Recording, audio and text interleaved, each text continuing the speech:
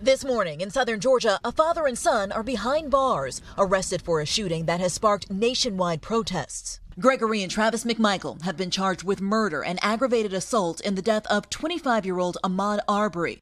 Overnight, Arbery's family says it has been a long wait. It made me feel a little release, me and my family, that we know they were behind bars, but we still got a long process to go. The shooting happened in February, but the release this week of this video showing the altercation quickly sparked a national outcry.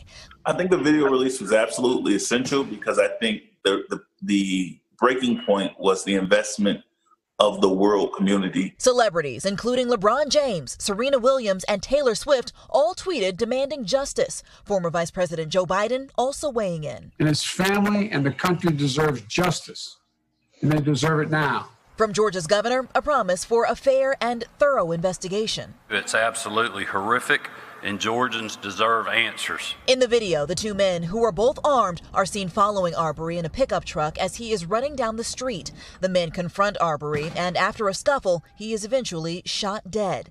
NBC News cannot verify what happened before or after the events shown in this video.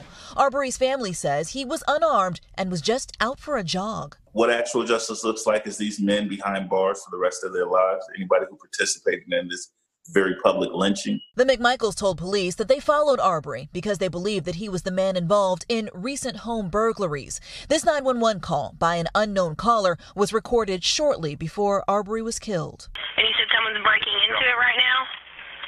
No, it's, it's all open. It's under construction. And he's running right now. There he goes right now.